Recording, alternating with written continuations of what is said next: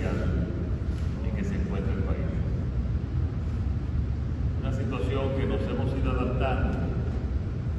A veces lo vemos como algo natural y otras veces entonces sentimos que, que la vida se nos está caminando delante y que no estamos haciendo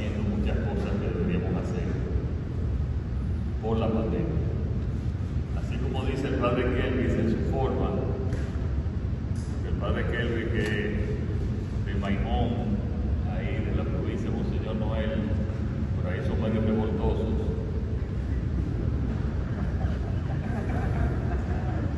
Él que se identifica siempre con su mente que estaba en Santiago, antes estuvo en Santo Domingo Este, pues la verdad que mucha gente tiene eh, mucha ansiedad.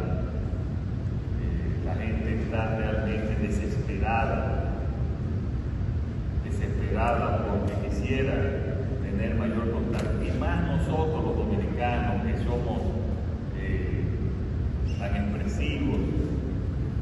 Una vez recuerdo un alemán que me dijo, no entiendo los dominicanos, ellos se saludan tres veces al día y se dan un abrazo.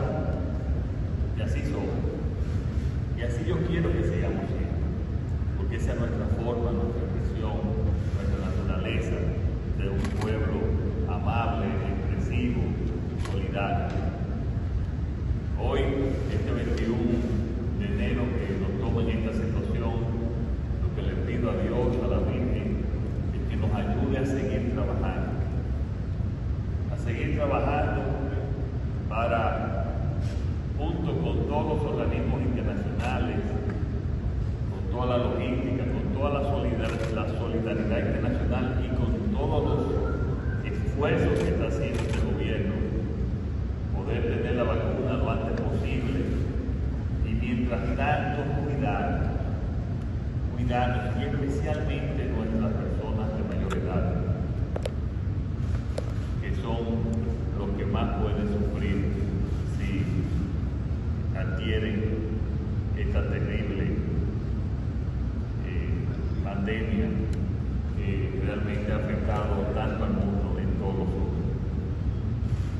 Yo le decía a unos amigos españoles hace unos días que, y utilizando un, término del béisbol que yo no conocía mucho, que a mí me parecía que yo vine a gobernar como si estuviese en la caja de bateo del antes de batear, antes de ir al home, cuando tenía que al bate, el bate tenía tres pesas.